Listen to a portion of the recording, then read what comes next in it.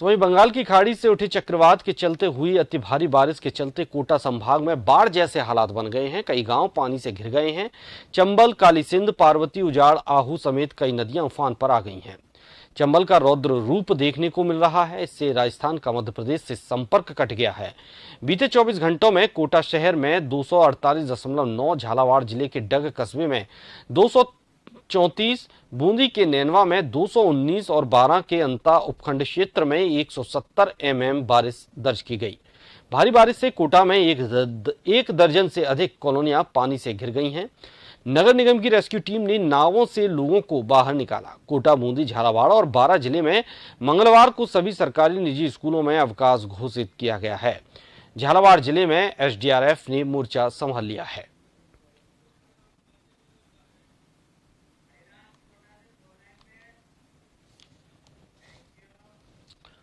और ज़्यादा जानकारी के लिए हमारे संवाददाता हरिराज कोटा से हमारे साथ जुड़े हुए हैं।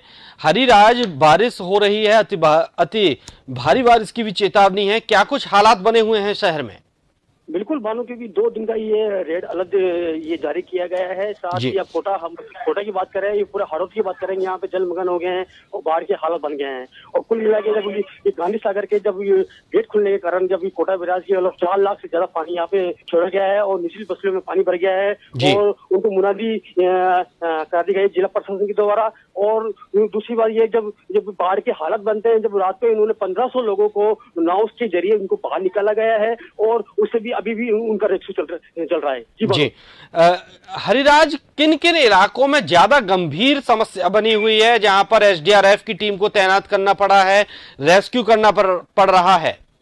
बिल्कुल बालू क्योंकि अभी ये जो निचली जो इलाका है गाउंडी है नयापुरा है जो खेले पाटा के स्टेशन क्षेत्र के सभी मतलब जो कॉलोनी में ये पानी भर गया है और उनको नाव के ज़रिए से उनको बाहर निकाला गया है। और साथ ही जो ग्रामीण क्षेत्र की बात करें तो वहाँ मतलब इटावा इटावा, सुल्तानपुर सभी जगह यहाँ पे जलमग्न हो गए हैं और उनको नगर निगम की सहायता और और एच की सहायता से उनको बाहर निकाला जा रहा है। जी।